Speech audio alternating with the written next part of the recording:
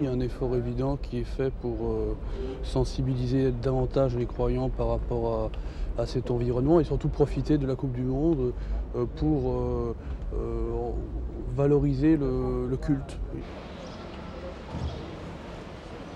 Dimanche prochain, il y aura spécialement une messe qui va essayer de profiter de, la Coupe du Monde euh, pour euh, favoriser le dialogue en- entre les continents. Euh, par exemple, il y aura des papiers distribués dans toutes les langues de la Coupe du Monde.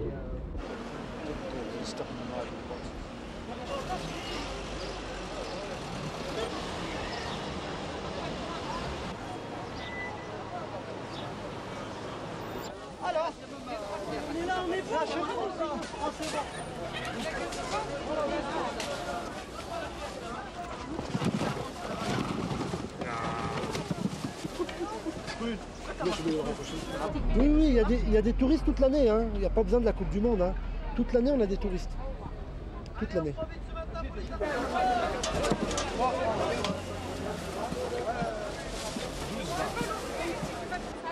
C'est gentil. C'est gentil d'être venu pour moi.